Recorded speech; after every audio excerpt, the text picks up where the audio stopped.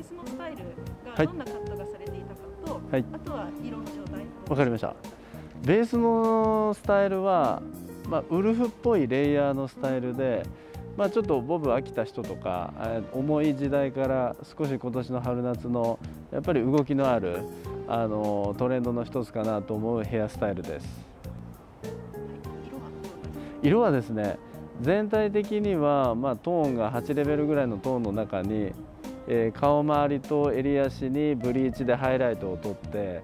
えー顔周りは薄いペールアッシュっぽい色を入れてあ、えー特に前髪ですね。でサイドの下あたりはあーちょっと青の強いグレーを入れて2色で動きを出してます。でそれが今回していただいたカラーそうですね。もともと多分ブリーチ前髪に入ってたはいか入ってました。えー、とおそらくちょっとスモーキーな柔らかいベージュのような色が入ってたと思います。はい、さらに顔周りにブリーチなどを足したそうですね。今回のその色のカラーレシピのこだわりっていうのはどんなところですか？えー、とまずはその色的には彼女のちょっとクールな表情の一面を引き出したかったので、まあ、ちょっと感触に行きたいんですけども顔周り全部青になるとちょっと新しさがないので、えー前髪付近は柔らかい、まあ、ペール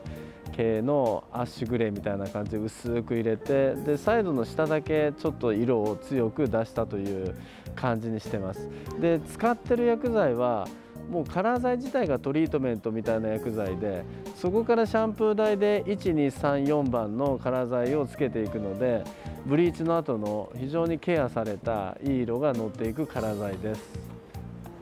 後スタイリングは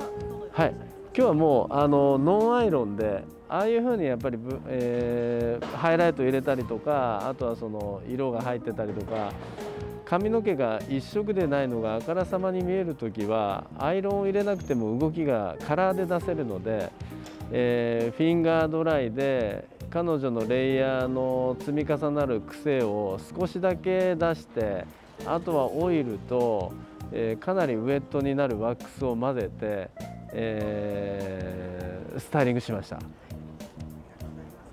回のスタイルはどんな女性におすすめ？ですか髪のまあ髪質髪悩みあとはなりたいイメージそうですね。あのー柔らかく可愛いっていう女性像よりはちょっとユニセックスな、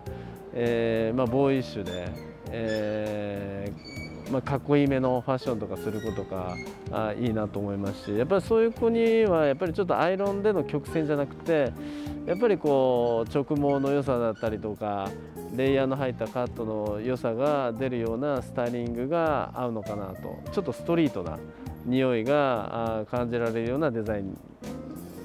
を求める子がいいんじゃないのかなと思。います、はい、ありがとうございます。